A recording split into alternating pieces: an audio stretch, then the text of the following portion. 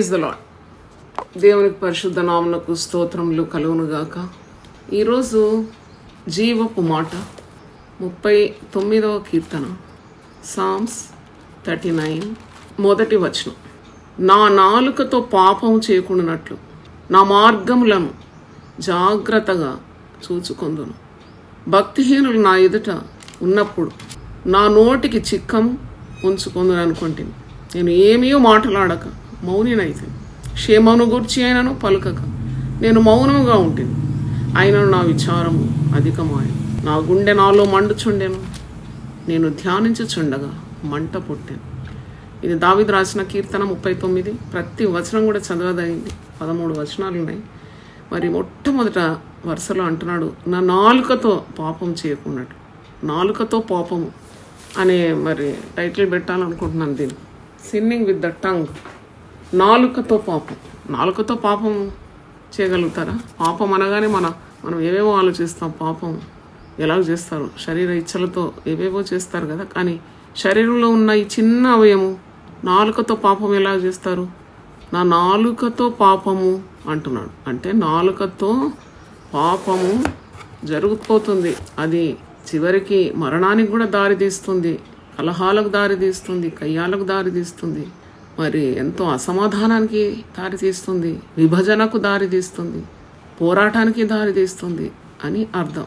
నా నాలుకతో పాపం చేయకున్నాడు నా మార్గములను నేను జాగ్రత్తగా చూసుకోను. మరి భక్తిహీనులు మన ఎదుట ఉన్నప్పుడు నోటికి చిక్కం అంటే నోటికి కళ్ళెం ఉండాలి. దేవుని ఎరగని వారి మధ్యలో మనం ఉన్నప్పుడు మన ప్రవర్తన చాలా జాగ్రత్తగా ఉండాలి. వారు ప్రతి మాటలో తప్పు పడతారు ప్రతి అడుగులో తప్పు పడతారు కాబట్టి భక్తులు భక్తిహీనుల మధ్యలో ఉన్నప్పుడు విశ్వాసులు అవిశ్వాసుల మధ్యలో ఉన్నప్పుడు సత్యం ఎరిగిన వారు సత్యం ఎరగని వారి మధ్యలో ఉన్నప్పుడు బంధువులే కానీ సమాజమే కానీ ఉద్యోగ స్థలమే కానీ చాలా జాగ్రత్తగా మాట్లాడాలి.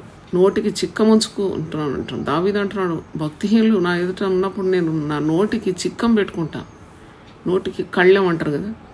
నేను కొన్నిసార్లు ఏమీ మాట్లాడకుండా మౌనంగా ఉంటాను. ఎందుకంటే నోరు తెరిస్తే వారు జగడానికి వచ్చేస్తారు. నోరు తెరిస్తే కయ్యానికి దిగుతారు కాబట్టి అట్టి పరిస్థితుల్లో నోరు మూసుకొని ఉండడమే మేలు. కనీసం వారి క్షేమం ఎలా ఉన్నారని కూడా అడగను ఎందుకంటే వారు నన్ను నమ్మరు. నా ప్రతి మాటలో నన్ను చిక్కించుకోవడానికి ప్రయత్నిస్తున్నారు కాబట్టి క్షేమమును గూర్చి అయినను పలకక నేను మౌనంగా ఉంటాను. నాలో విచారం అధికమైనప్పుడు నా గుండె నాలో మండుతున్నప్పుడు నేను ధ్యానిస్తాను. ఆ ధ్యానంలోనే నాకు దేవునితో ఉన్న బంధం లేక మంట నాలో మండుతూ ఉంటుంది. అంటే ధైర్యము శక్తి నాకు కలుగుతుందని అర్థం. మరి నోటికి చిక్కము నోటికి కళ్ళెం పెట్టుకోమంటున్నాడు కదా. Bridle your tongue. నోటి ద్వారా అనేకమైన ఉపద్రవాలు రావచ్చు. అందుకే నాలుకతో పాపం చేయకూడదు. ఒక పాపం అంటున్నాడు కదా నాలుకతో నేను పాపం చేయకూడదు. టు రిస్ట్రెయిన్ నిగ్రహించడం. ఆర్ టు కంట్రోల్ ఇంగ్లీష్ లాంగ్వేజ్లో రిస్ట్రెయిన్ కంట్రోల్ నియంత్రణ అంటే నాలుక గురించి ఒక అధ్యాయమే ఉంది. యాకో పత్రిక మూడో అధ్యాయం నాలుక గురించి ఉంది. విశ్వాసం గురించి ఒక అధ్యాయం ఉంది.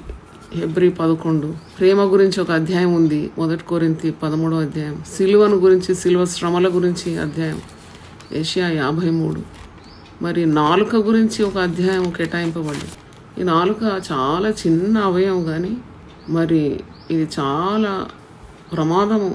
ఇది సర్వ శరీరానికి కూడా మాలిన్యం కలుగజేసి ప్రకృతి చక్రానికి చిచ్చు పెట్టగలిగింది అంటున్నాడు. యాకో పత్రిక మూడో అధ్యాయం ఐదు నుండి నేను ఎనిమిది వచనాలు చదువుతున్నాను. అలాగే నాలుక కూడా చిన్న అవయమైనను బహుగా అదిరిపడు ఎంత కొంచెము నిప్పు ఎంత విస్తారమైన అడవిని తగులబెట్టును?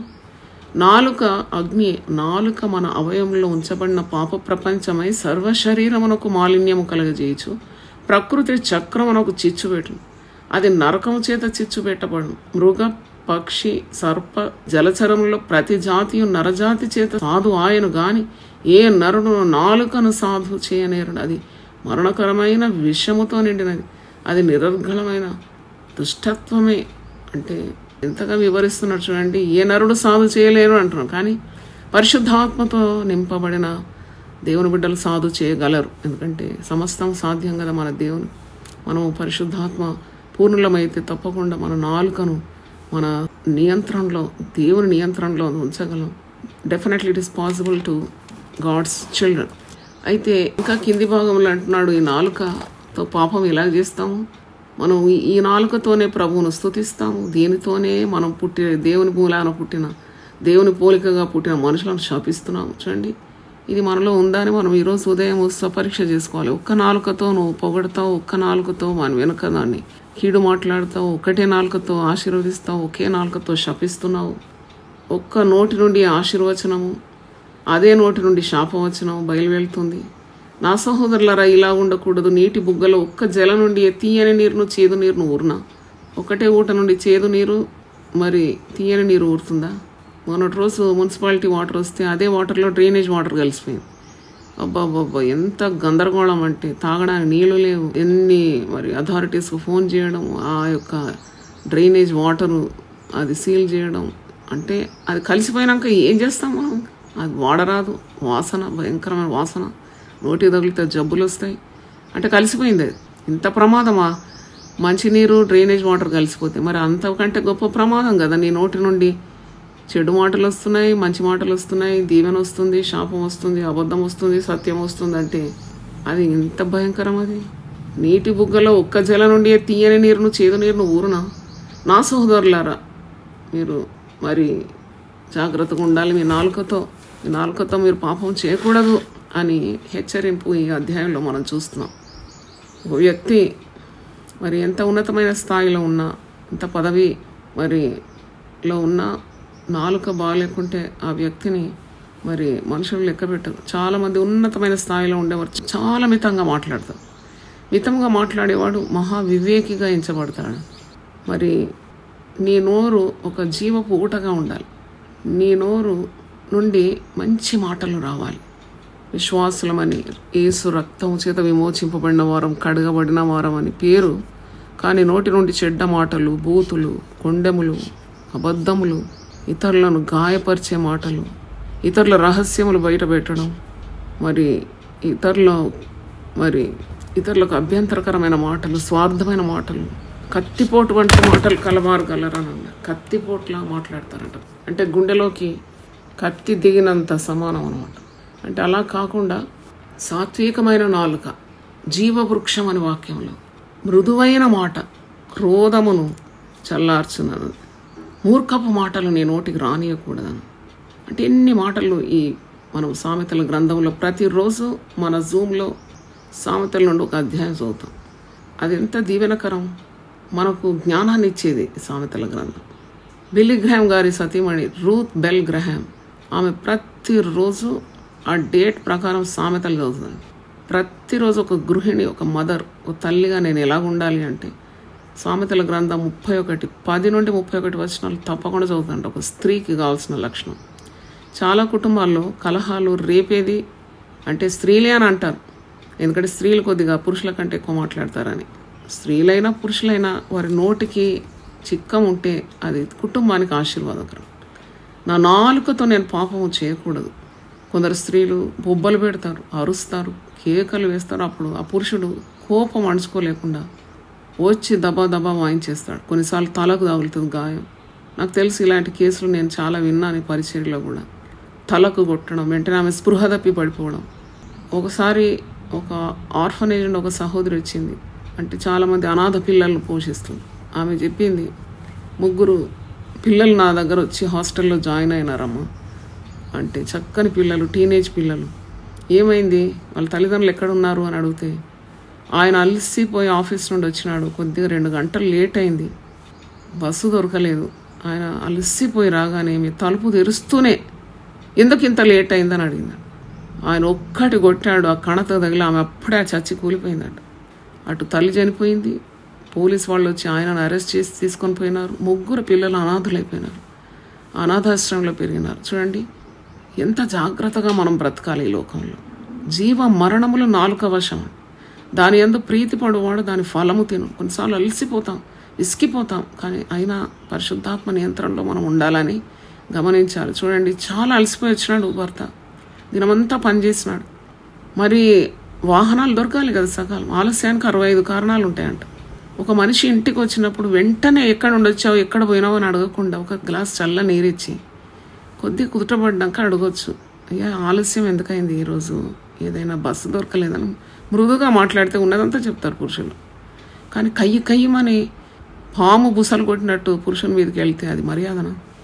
అప్పుడు అలసిపోయిన పురుషునికి ఎంత కోపం వస్తుంది. అలాగే స్త్రీలు కూడా పని చేసి ఇంటికి వచ్చినప్పుడు పురుషులు మరి వారు మరి ఇంకా స్త్రీలు శరీరంలో బలాఢ్యులు కాదు కదా వారు అలసిపోతారు ఇంటి పని బయటి పని చేసి.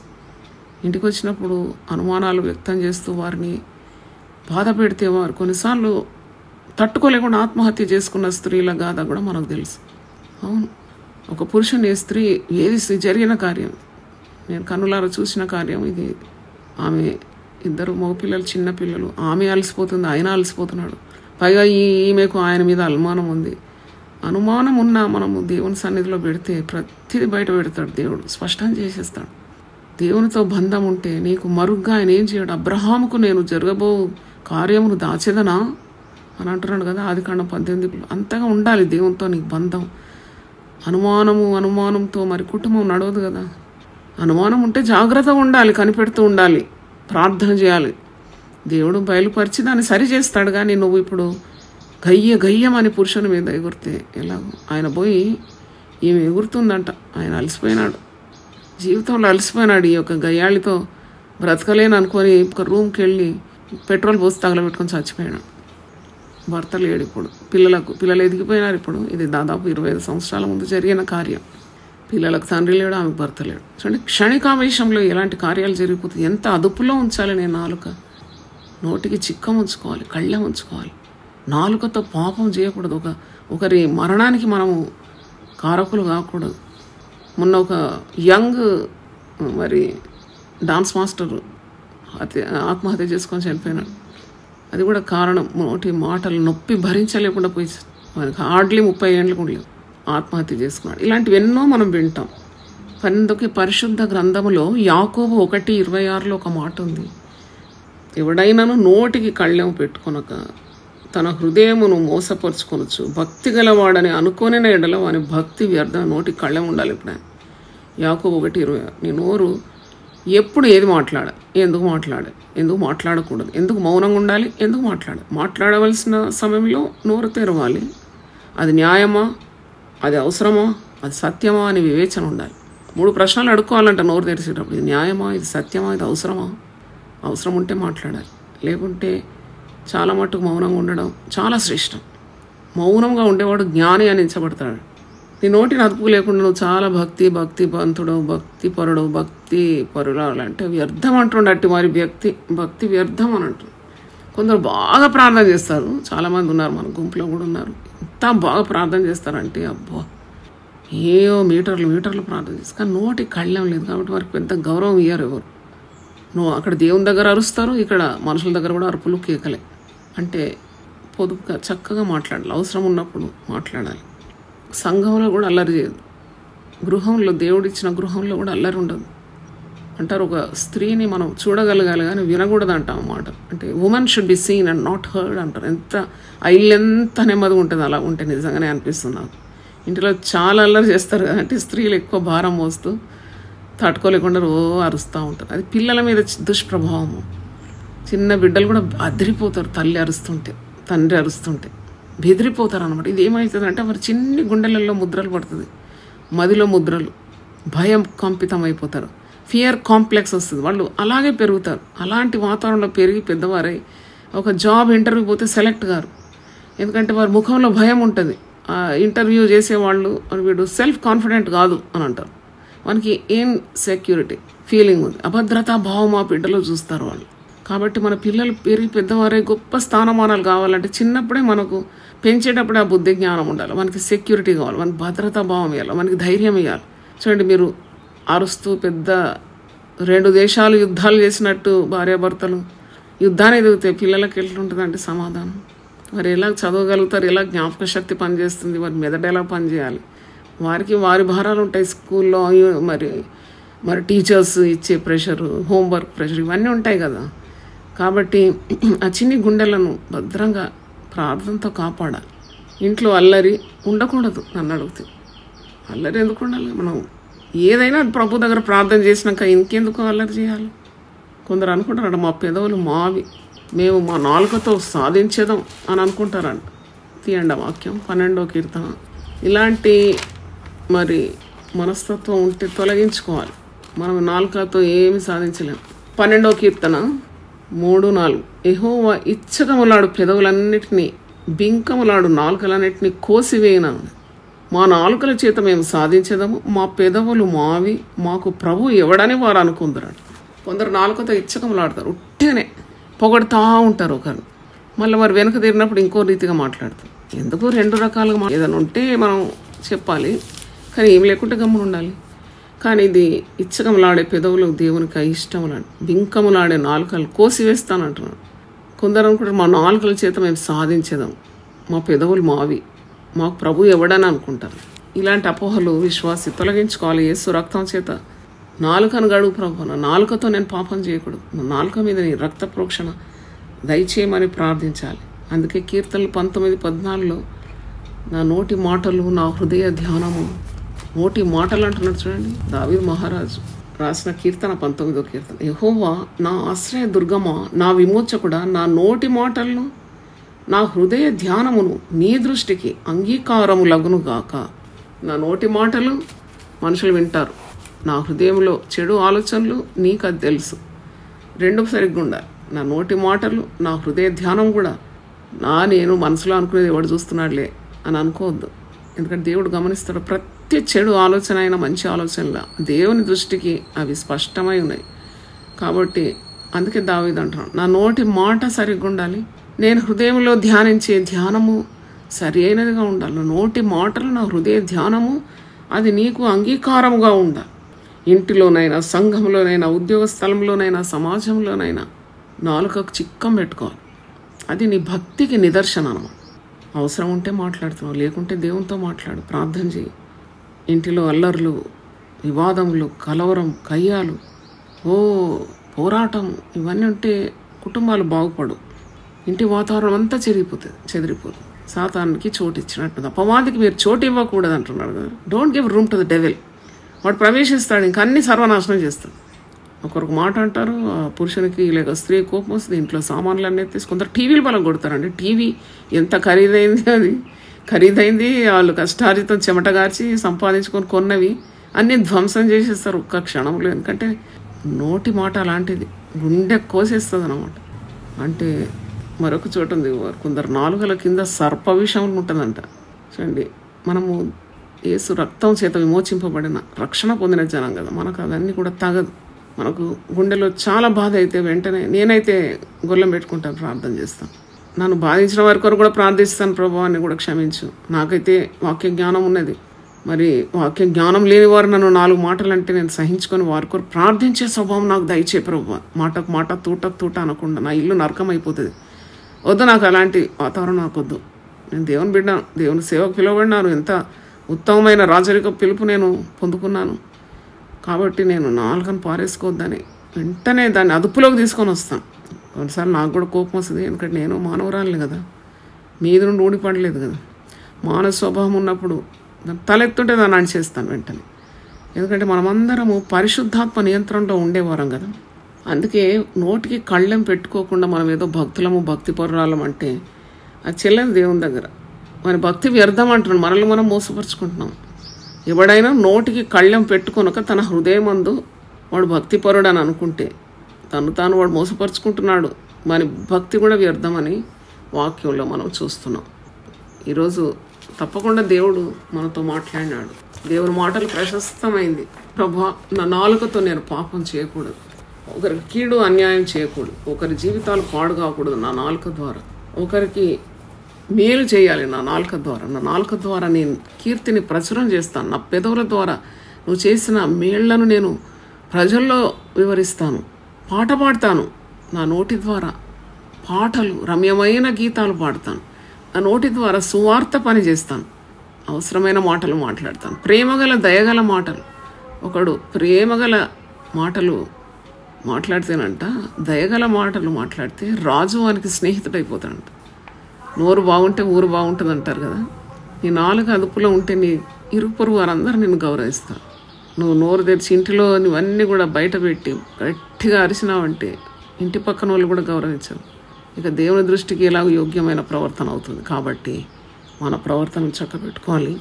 నా నోట కృత పాట నా యేసు ఇచ్చెను. నా నోట కృత పాట నా యేసు ఇచ్చెను. ఆనందించేదను ఆయాన్నే పాడేదను. జీవిత కాలమంతా ఆనందించేదను ఆయాన్నే పాడేదను జీవిత కాలమంతా పాపపు బురద నుండి లేవానెత్తేను జీవ మార్గమున నన్ను నిలువబెట్టేను. పాపపు బురద నుండి లేవానెత్తేను జీవ మార్గమున నన్ను నిలువబెట్టేను. ఆనందించేదను ఆయాన్నే పాడెదన్ జీవిత కాలమంతా హల్లెలూయ ఆనందించేదను ఆయాన్నే పాడెదన్ జీవిత కాలమంతా నా నోట కృత పాట నా యేసు ఇచ్చెను నా నోట కృత పాట నా యేసు ఇచ్చెను. తల్లి తండ్రి బంధు బంధుమిత్రు జీవమాయని నిందను భరించి ఆయన మహిమను చాటేదన్. తల్లి తండ్రి బంధు బంధుమిత్రు జీవమాయని నిందను భరించి ఆయన మహిమను చాటేదన్. ఆనందించేదను ఆయాన్నే పాడెదన్.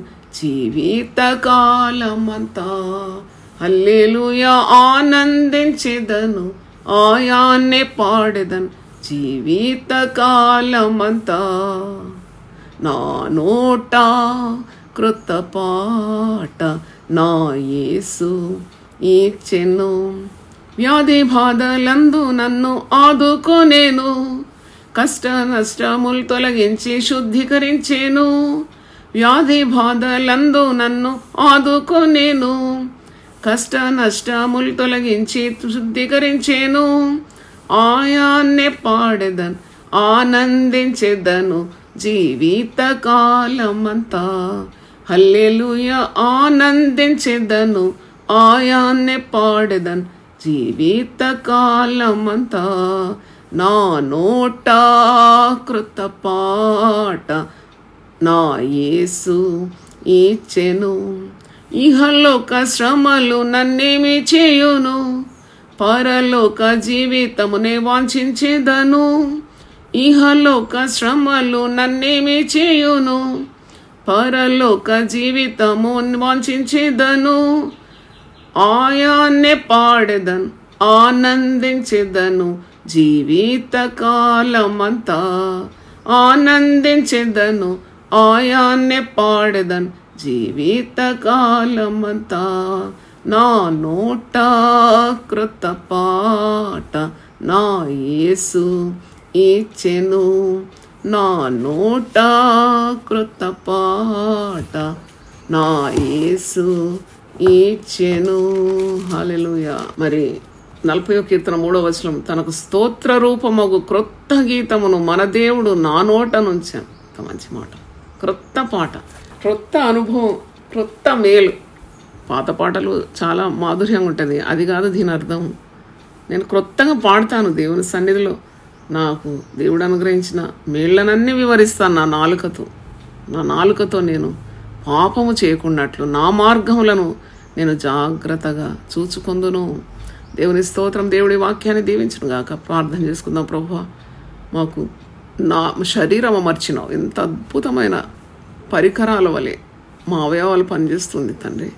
నువ్వు నన్ను కలగజేసిన విధము చూడగా భయము ఆశ్చర్యం కలుగుతుందని దావీదు భక్తుడు అంటున్నాడు. అవును తండ్రి నాలుక ఎంత చిన్న అవయం. నరం లేదు ఎముక లేదు కానీ అది ఆడిస్తే కొన్నిసార్లు దీవెనకరం మరికొన్నిసార్లు ఇతరులకు ద్రోహం చేయగలుగుతాం. కాబట్టి మా నాలుకను మా పరిశుద్ధాత్మ అదుపులో ఉంచుకోవడానికి సహాయం దయచేయండి. ఎవడైనా మాట ఎందు తప్పని అట్లాంటి వాడు లోపం లేనివాడై. తన సర్వ శరీరమును స్వాధీనమంచు ఉంచుకున్న శక్తి గలవాడు యాకోబు మూడు రెండులో సెలవిచ్చినావు దేవా నీకు స్తోత్రం చిన్న అవయవం కానీ అది ఎంత గొప్ప ప్రమాదాలు తీసుకొని వస్తుంది. కనుక మా నాలుకను పరిశుద్ధాత్మ నియంత్రణలో మరి ఉంచుకున్నట్లు మమ్మల్ని రక్త ప్రోక్షాన్ని పరిశుద్ధమైన రక్త ప్రోక్షణ కింద మరి మా నాలుకలను మీరు ప్రభా నీ స్వాధీనంలో ఉంచుకోవాలని. అది మామూలు కూడా తండ్రి నిగ్రహంతో మరి ప్రభా ఆత్మఫలం నిగ్రహ శక్తి తండ్రి. మాటలు. మరి ప్రభా మేము ఏమి మాట్లాడుతున్నామని ఆలోచించి మాట్లాడడానికి సహాయం దయచేయండి. తండ్రి నీకు స్తోత్రం. ఎవరికి కీడు ఎవరికి హాని మరి ఎవరికి ఉపద్రవం రాని విధంగా మా నోరు ఉండాలి. మా నోరు జీవపు ఊటగా మార్చమని. ఏసు నామంలో అడుగుతున్నాను తండ్రి. Amen amen. దేవుడు మళ్ళీ సమృద్ధిగా దీవించునుగాక. God bless you